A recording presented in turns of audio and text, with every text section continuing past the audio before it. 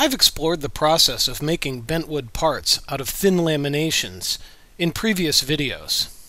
By clamping the laminations between a pair of forms or by clamping them around a single form.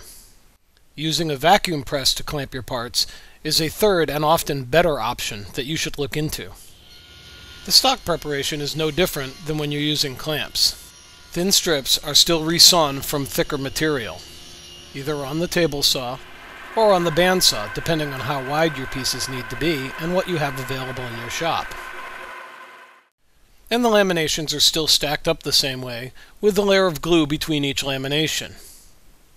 I use painter's tape or stretch wrap to keep the parts from moving on the form as I put them in the bag.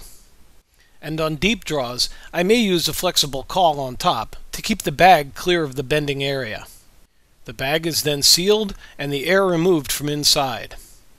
The Roarockit kit that I'm using here has a hand pump. It's slow, but effective. More expensive systems often use an air or electric pump to evacuate the bag. But by whatever means, as air is removed from the bag, the ambient air pressure around you starts to force the parts down onto the form.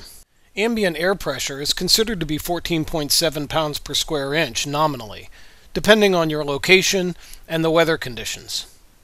So with atmospheric pressure of around 14 pounds per square inch, even on this small part, I'm getting 120 pounds or more of pressure forcing it into place.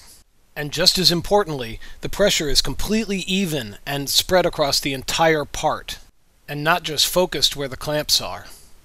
After allowing sufficient drying time, the parts are removed from the bag.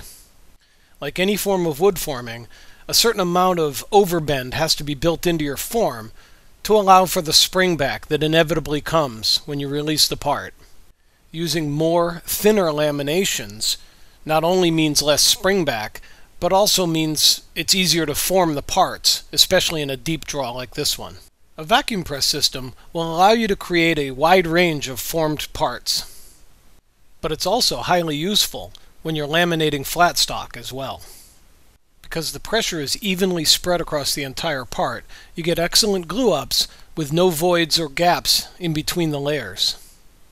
And for smaller parts, I've even had good results using a vacuum freezer bag system bought at the grocery store for my kitchen.